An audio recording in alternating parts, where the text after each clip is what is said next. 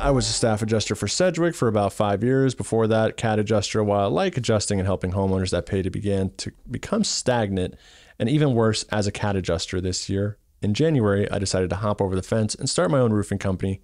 And since January, four months ago, I've supplemented about 500,000 in unpaid claims, one of which was a full-blown denial that I was able to get to 211,000 approved. Problem in this industry is carry is carriers sending picture takers who are not licensed adjusters. See, it's cyclical. It goes back Right. to this. Uh, who are not licensed adjusters to handle the claims process, which should be illegal. They miss damage and aren't trained properly, resulting in skewed data that is delivered to a desk adjuster who hasn't laid eyes on the property. The person inspecting the property should always be the person writing the estimate. It's a little bit long, so I'll try to summarize this. It ties the hands of the field adjusters, not allowing them to write freely on an estimate how they see fit. Uh, in their experience, they've seen, in just with a few claims in the past four months, they've seen an attempt to save $500,000. So Okay. I don't know if it is necessarily kicking the can down the road. We don't have all the information on these claims that that person has worked. Right. It wouldn't surprise me though if somebody was just taking pictures and not getting the good enough pictures to the desk adjuster, and the desk adjuster.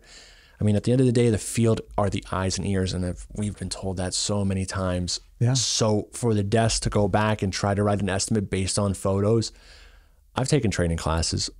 Kurt Guy, lovely guy, has made this point to me too because I was guilty of it at one point Sure. We all were.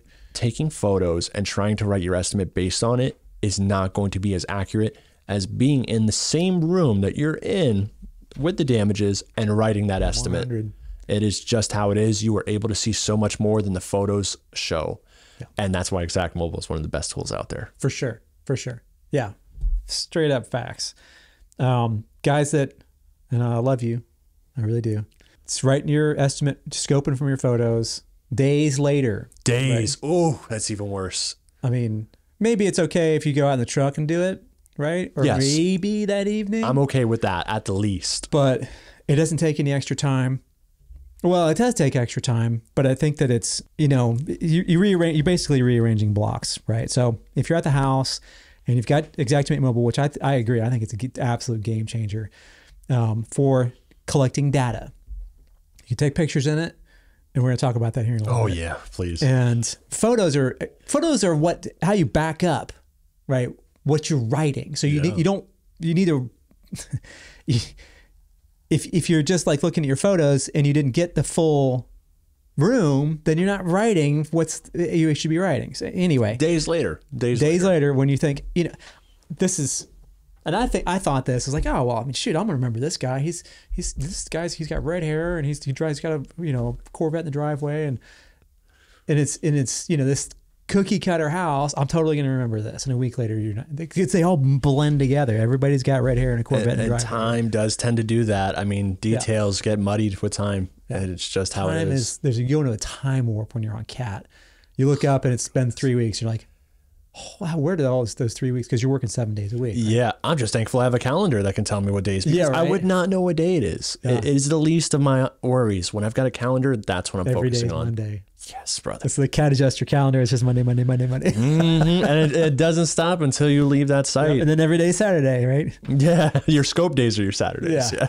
Or excuse me, your uh, your your the days that you sit and write at home are your Saturdays. Yeah. Barely.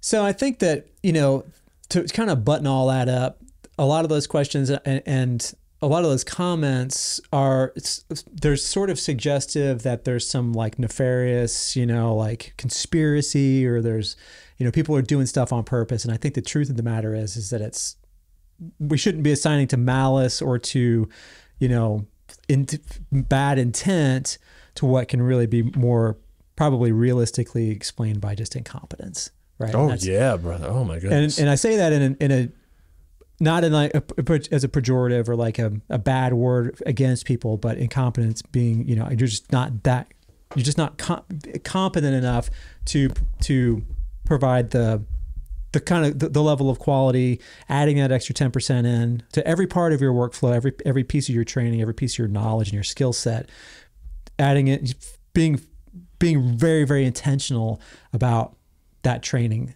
right? Getting yourself your skill sets.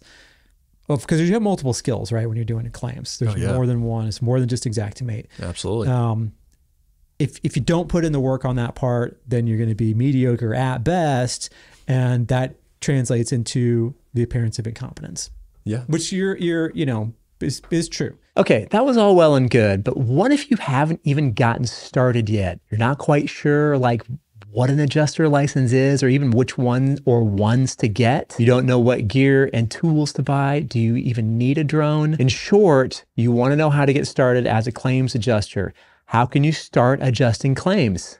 For money, right? We put together a comprehensive seven video series explaining in detail, step by step, the complete beginner's guide to getting started as an independent property adjuster. This is where you want to start. And the best part, it's completely free and you can get started watching it right now at adjustertv.com slash start. In the meantime, YouTube has picked out a special video just for you. See you in the next one.